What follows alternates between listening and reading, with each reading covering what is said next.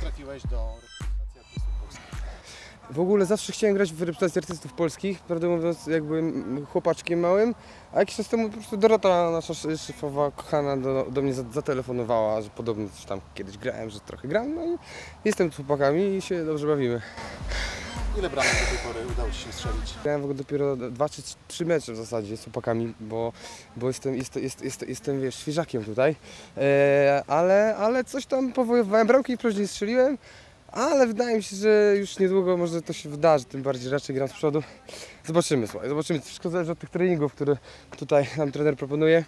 Mam nadzieję, że nas y, do następnego meczu przygotuje tak, że każdy z nas strzeli parę bramek. Koledzy byli już y, w grudniu w Suwałkach.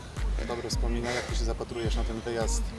Może to będzie przełomowe spotkanie, pierwsza bramka. E, to jest fajny pomysł. Mam nadzieję, że to się uda zrealizować właśnie w Suwałkach.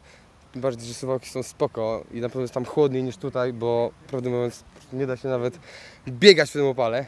Także cieszę się, że to jest bardziej na północy. Suwałki są super. Pozdrawiam Suwałki i widzimy się e, już niedługo na stadionie miejskim w Suwałkach. Tam będziemy i spróbujemy pokazać się z jak najlepszej strony. E, trzymajcie kciuki, ale też kibicujcie swoim. Jak sądzisz, jak długo zagra Bill w tym spotkaniu? Słuchaj, moim zdaniem Bill powinien grać w ogóle cały czas, bo jest mistrzuniem.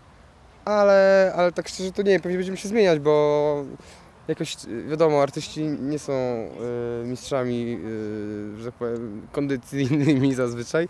E, nie no, mamy kilku kolesi, którzy są naprawdę wysportowani, ale na przykład ja i Bill myślę, że e, pobiegamy krócej niż na przykład wiesz, Rafał i Marcin Mroczek, którzy są wiesz, fit. Zobaczymy no, zobaczymy.